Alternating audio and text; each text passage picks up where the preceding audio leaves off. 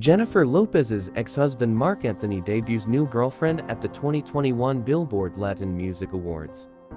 Salsa crooner Marc Anthony debuted a surprise new romance while attending the 2021 Billboard Latin Music Awards in Coral Gables, FL on Thursday.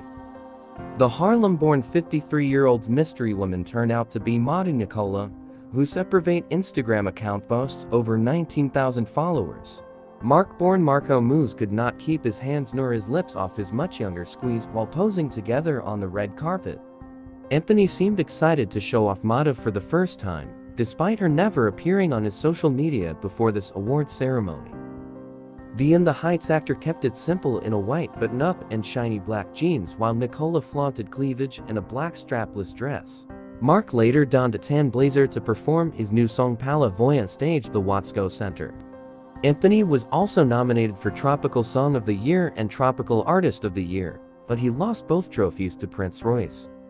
Marc amicably co-parents his 13-year-old twins Emme and Maximilian with ex-wife number to Jennifer Lopez, whom he was married to for seven years until their 2014 divorce.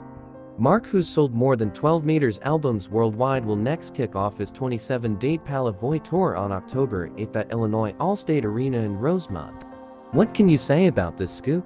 Let me know in the comment section below. Give it a thumbs up and subscribe.